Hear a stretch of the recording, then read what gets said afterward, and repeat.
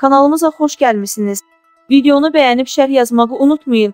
Hər birinizə minnətdaram bizi izlədiyiniz üçün. Xərçəng xəstəliyi ilə mübarizə aparan əməkdar artist Tünzali Əliyeva yenidən kimyaterapiyaya başlayıb. Bir az xəbər verir ki, aktrisa Telegraf.com açıqlamasında bir müddət əvvəl ayağında əmələ gələn trombla əlaqədar kimyaterapiyanı dayandırdığını deyib. Artıq ayağımdakı trombla bağlı problem həll edildi. Kimyaterapiyaya başladığım 29-cu kimyaterapiyanı aldım. Qeyd edək ki, aktrisa Milli Onkologiya Mərkəzində müalicə alır, Allah rəhmət eləsin, amin.